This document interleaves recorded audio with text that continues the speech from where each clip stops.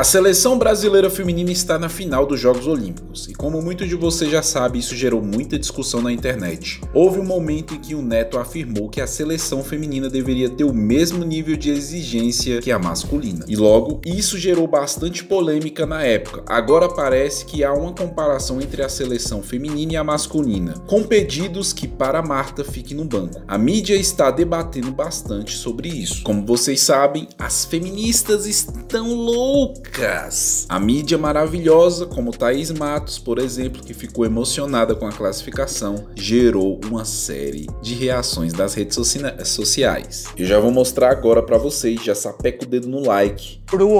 Compulsivamente, e ela tem seis bolas de ouro e ela pode e deve, mas não é a Marta. Não é a Marta o Brasil. Não é a Marta a jogadora que ia ganhar o título. Nesse momento, não. Você poderia fazer com que ela fosse importante, mas não foi. Nessa Copa não foi. E as jogadoras mais jovens pipocaram.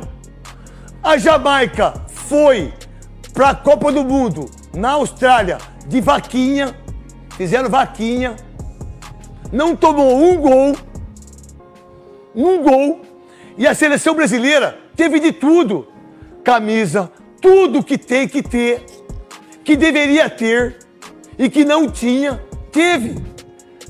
Não pode chorar em coletiva antes do jogo.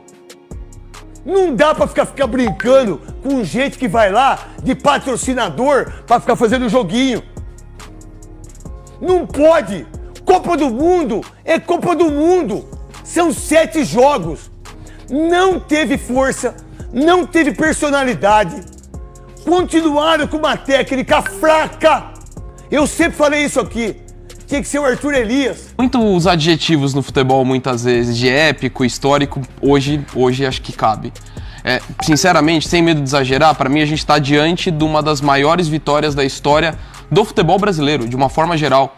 Por tudo que representa, mais do que atual campeão do mundo, ela é a base da, do principal time de futebol do mundo é, no momento que, que, que tá sendo protagonista, no momento que a gente fala muito desse Barcelona por tudo que representa, o Brasil amassou esse time. E para piorar, hoje o Neto ficou pistola com o Thiago Live. Se liga só. A postagem de todos, tá? Casé TV foi mal. Postagem no Instagram tá errado.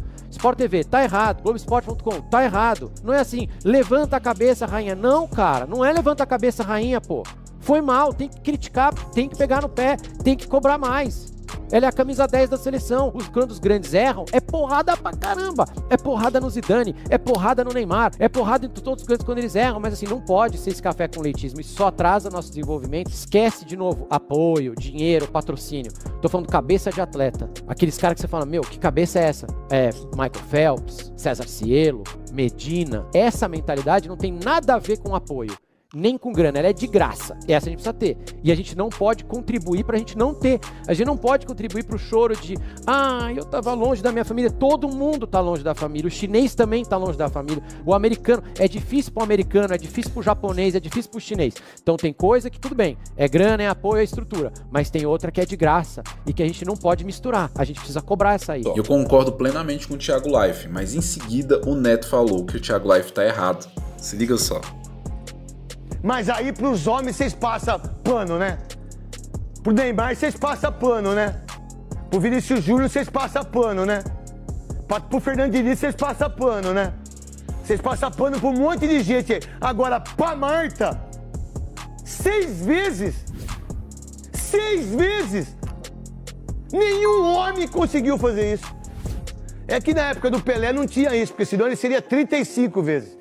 Ele seria 40 vezes. Vocês acham aí que o Pelé ainda não é o maior do mundo. Mas querer falar que a Marta, como é que é passar pano? Que passar pano pra Marta, meu irmão? A gente tem que ficar de joelhos e agradecer a Marta por tudo que ela fez. Vocês hoje, vocês comentaristas hoje, deixa eu falar uma coisa pra você. Vocês têm que entender como é que é a bola. Ela é redonda, ó. Redondinha. Para vocês todos jovens aí que vocês estão comentando.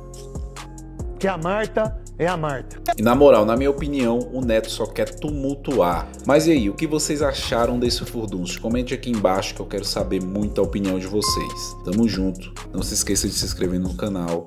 Vejo vocês no próximo vídeo.